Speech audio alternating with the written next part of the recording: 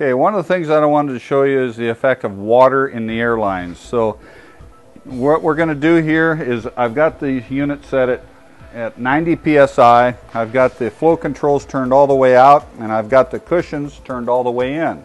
So we have a very fast but yet very robust system here that should last a lot of years.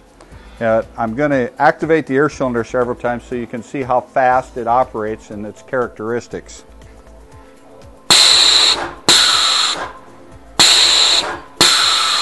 Okay, now what we're going to do is we're going to de-energize the system and with a little bit of help of a cup of water here, we're going to screw this thing up.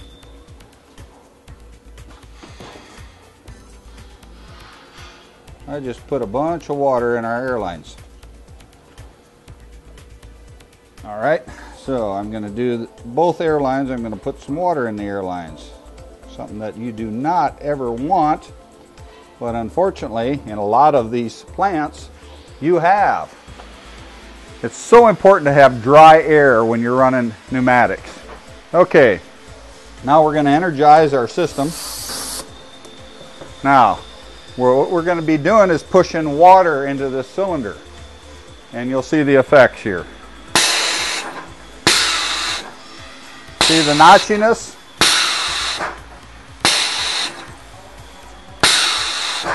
See how it's acting strange at the end? How it doesn't want to come back in anymore? What's happening here is we're trying to compress water inside of the cushions of the air cylinders. And it just plain cannot compress it. The water's got nowhere to go and the water cannot get through the openings that are, that are in the little valves of the cushions. So it'll sit out here forever. And you also see that when it operates, it's very notchy. And it's hydraulicing now against that, against that return. Also notice all this water that's spraying out of that solenoid. It's getting pumped through the air cylinder, pumped through the air lines. It's making a mess of things.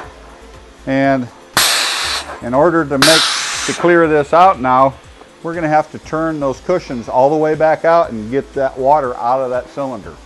Okay, we're clearing the water out now is what we're doing. So we've disconnected the extend and we're going to cycle the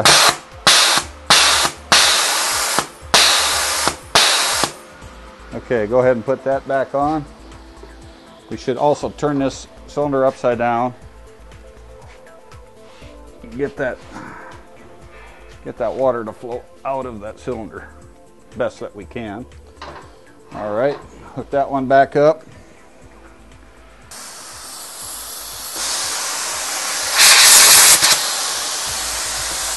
All right, now again, get the water out of that cylinder best that we can. All right, yeah, let's get this water out.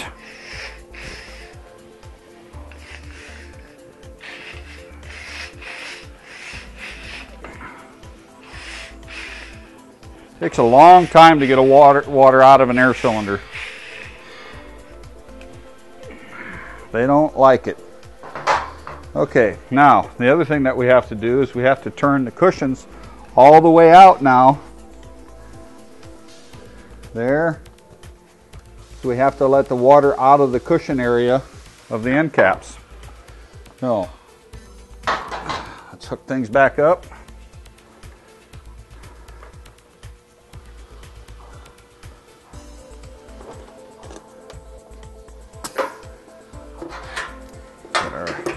Okay, now that we've manually gotten as much air out of the cylinder, or excuse me, water out of the cylinders as we could, and we've got the cushions turned all the way out, now we're going to cycle it.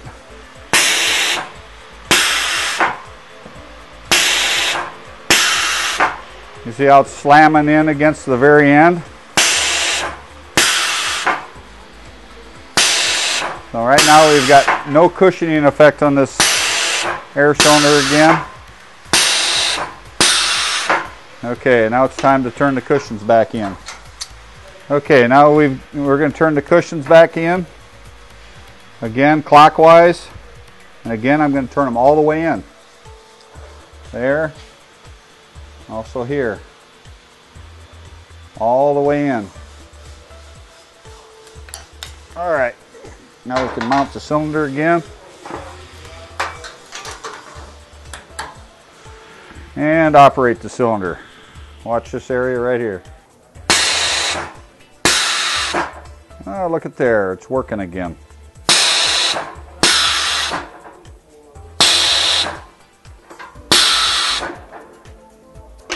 There you have the effects of water in an air cylinder.